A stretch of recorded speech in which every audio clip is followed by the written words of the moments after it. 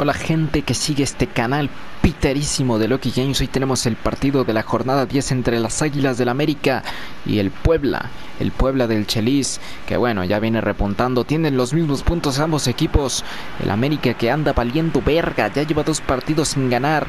Eh, uno contra el Morelia en el que empató 2 a 2. Y otro pendiente de la jornada 1 contra el Necaxa en el cual le dieron la vuelta. Marchesín cometió unas fifias terribles.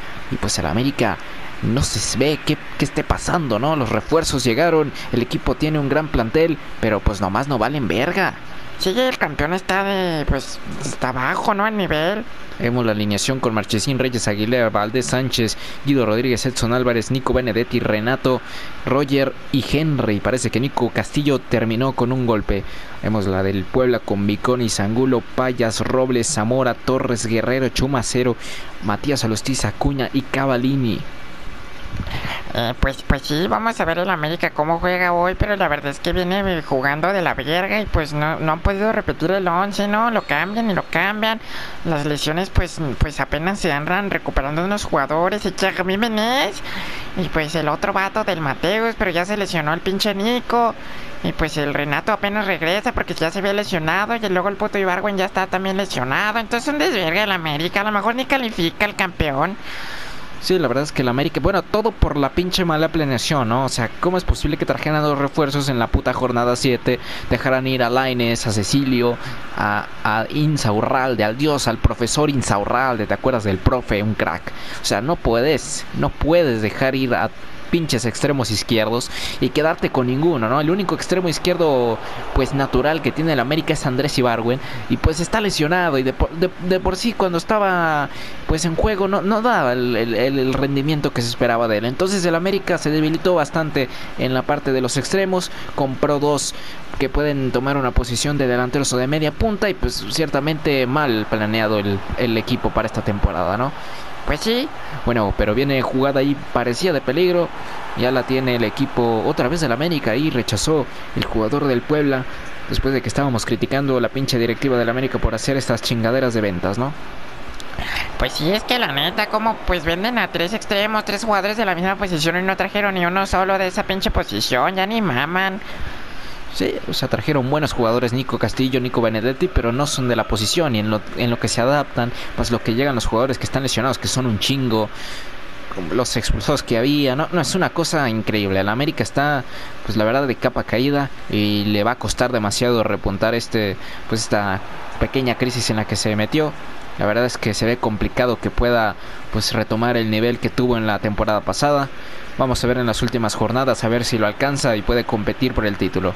Viene centro peligroso, Nico Benedetti por esa pelota, el colombiano mete el centro, Roger Martínez, parecía que se metía el balón.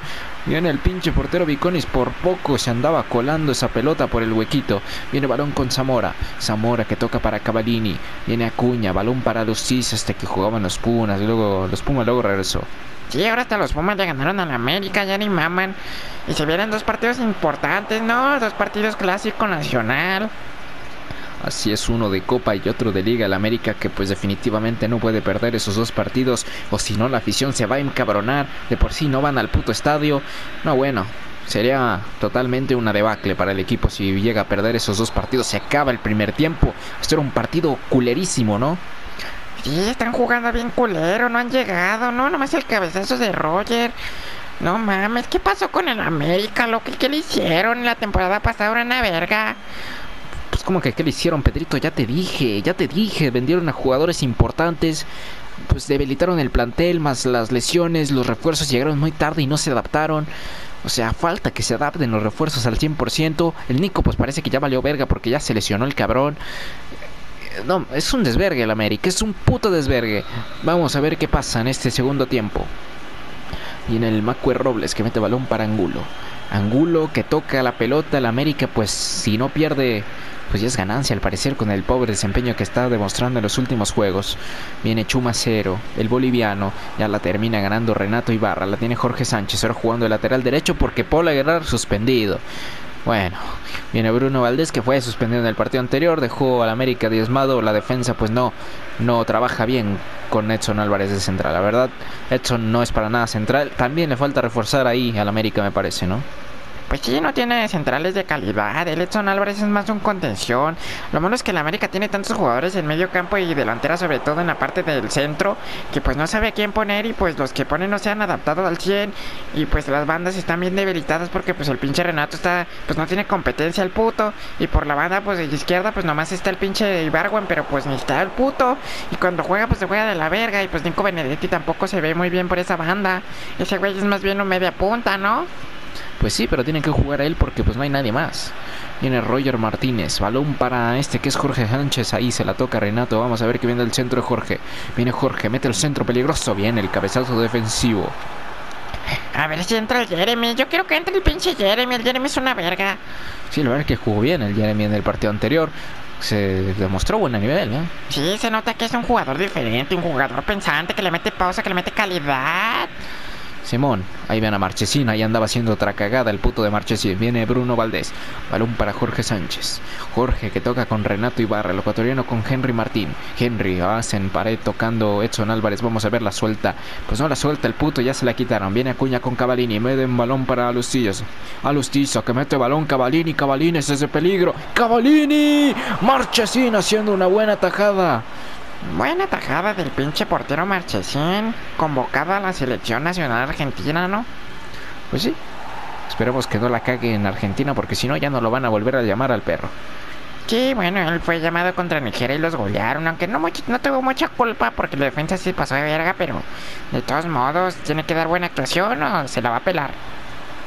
Así es, viene balón para Henry Martín, ya se va a terminar el partido y vaya partido culero, ¿no? Sí, sobre todo por parte de la América. Digo, el pueblo pues tiene un plantel limitado y todo, pero pues ve nomás, ¿cómo es posible que no le meta un puto gol en la América al puto Puebla? Ya ni maman. La verdad que sí, ya se va a acabar el partido. Parece que va a terminar todo esto en un 0-0 y el América sigue rezagado en la tabla. Puede quedarse fuera de liguilla, sí, así, ¿eh? Sí, está jugando de la verga. Ya se va a acabar el partido. El árbitro lo pita. Aburridísimo. 0-0, señoras y señores. El América está valiendo gaber. Sí, mira, pinche árbitro japonés, qué verga, lo invitaron de, de la pinche federación japonesa, la verga, ¿o qué? Pues no sé, Pedrito, pero pues es que es como es Konami, es PES, ponen árbitros japoneses. Ah, sí es cierto, no mames, pero pues estamos en la liga mexicana, en todo caso es una liga latinoamericana en el PES, ¿por qué ponen árbitros japoneses? Porque lo ponen como si fuera un amistoso y no tanto como oficial. Ya en la liga ya no te ponen a estos pinches japoneses, ni africanos. Ah, eso sí. Bueno, pues esperemos les haya gustado este pinche video. La verdad es que estuvo culerón, ¿eh?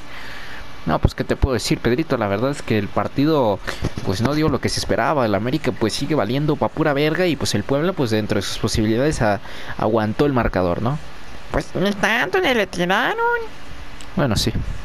Al final el pueblo fue el que tiró un disparo más peligroso, ¿no? Pues sí, te digo que el América está valiendo pito no, pues, no sé qué esté pasando la verdad con el América, porque a pesar de todo lo que dijimos, ya era para que en estas instancias se, viera un equipo más conjuntado, una adaptación de los refuerzos mayor y pues por lo menos más puntos, ¿no? Pues sí, te digo, están valiendo pito. Bueno, esperemos por el bien de, del equipo azul crema, de todos los americanistas que siguen este canal, que son la mayoría, pues que repuntemos, ¿no? Pues ojalá, ojalá, si no nos va a cargar la verga. Bueno, Esperemos les haya gustado. Si fue así, suscríbanse, denle like y pongan la pinche campanita. Adiós. Adiós, adiós.